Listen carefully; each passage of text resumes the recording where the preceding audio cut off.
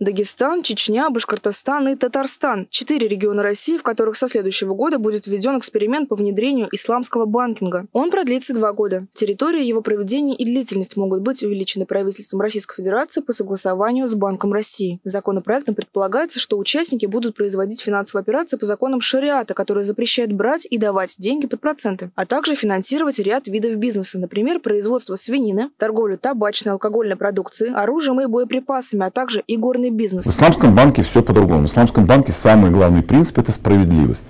То есть, если ты взял у банка деньги на развитие своего бизнеса, вы стали с банком партнеры, и что-то в вашем бизнесе пошло не так, не по вашей воле, не по вашей какой-то безграмотности, безделию, не по вашей ошибке, а вот просто такое стечение обстоятельств то у исламского банка к вам не будет вопросов и претензий, и вы не будете платить штрафы, пени там и прочее. Конечно же, все время кажется то, что это какая-то такая сказка, такого, значит, не существует, но свыше 50 стран в мире имеют исламский банкинг, и прекрасно он у них развивается и существует. Минимальный размер капитала участника эксперимента, не являющегося кредитной или некредитной финансовой организацией во время проведения эксперимента должен составлять с 1 января 2023 года 10 миллионов рублей. С 1 января 2024 года 25 миллионов рублей. При продлении эксперимента минимальные требования капитала повышаются. С 1 января 2025 года до 40 миллионов рублей, с 1 января 2026 года до 55 миллионов рублей, а с 1 января 2027 года до 70 миллионов рублей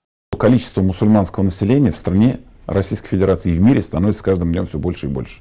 И поэтому а, потребителей этих услуг по исламскому банкингу с завтрашнего дня, уже их сегодня много, а с завтрашнего дня их будет еще больше.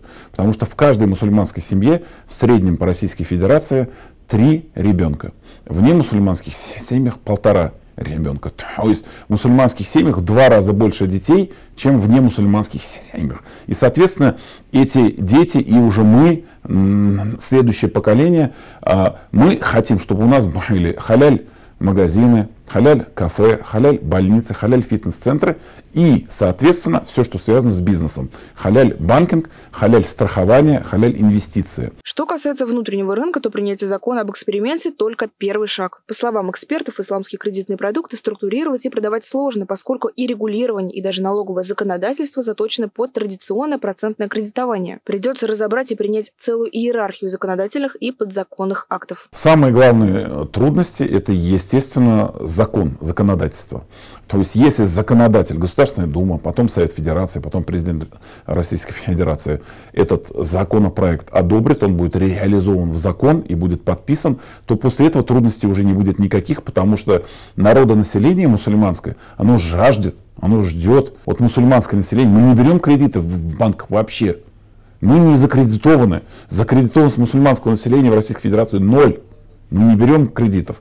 А нам они нужны. Нам нужны оборотные средства, мы должны развивать свои предприятия, свои компании. Поэтому как только это одобрится, осуществится и начнется в экспериментальном порядке реализовываться, мы с удовольствием, все бизнесмены туда прибежим и будем сотрудничать с этим банком. По словам главы Комитета Госдумы по финансовому рынку Анатолия Аксакова, законопроект, устанавливающий правила исламского банкинга, направлен на ведомственное согласование. Тема привлечения средств из азиатских и арабских стран также стоит на повестке. Их представители проявляют особое внимание к этому закону. Карина Саяхова, Александр Кузнецов, Универньюз.